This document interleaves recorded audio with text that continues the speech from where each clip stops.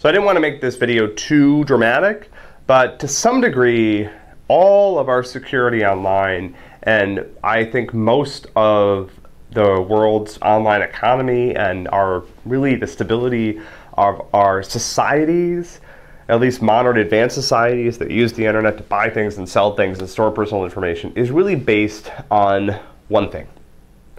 And that thing, that property, that assumption that we're all trying to make, the assumption that underlies a lot of the encryption that goes on online, is a pretty simple one.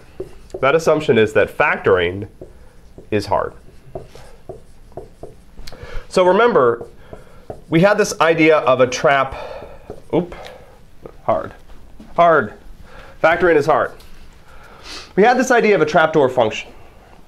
And we use trapdoor functions to enable something called public key cryptography, which is widely used online.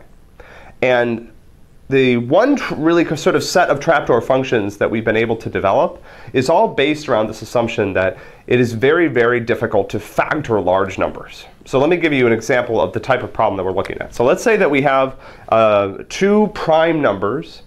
Remember, prime numbers have only one factor. So a prime number is only divisible by itself and 1. 7 is an example of a prime number. 9 is not a prime number because 9 is divisible by 3. 7 is a prime number, 11 is a prime number, 13 is a prime number, 17 is a prime number. These are all examples of numbers that can only be divided by themselves evenly, by themselves and 1. And it turns out, it's actually really fascinating, when you get out into these huge, huge, huge, huge, huge numbers, there are still a lot of prime numbers out there. And so what we can do is we can do the following. We can take two large prime numbers, let's call them P and Q. Now, if you give me two large prime numbers, it is very easy to multiply them together. That's just multiplication. So I can take P times Q, and I can get a new number called N. Now, remember, P and Q are prime. So they can only be divided by themselves and 1. And so it turns out that n only has three factors.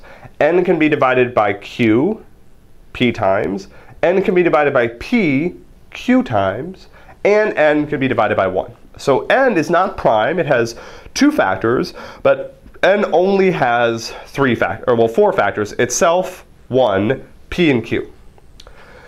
So it turns out that so again, if I give you P and Q, it is very easy to compute N. You just multiply them together.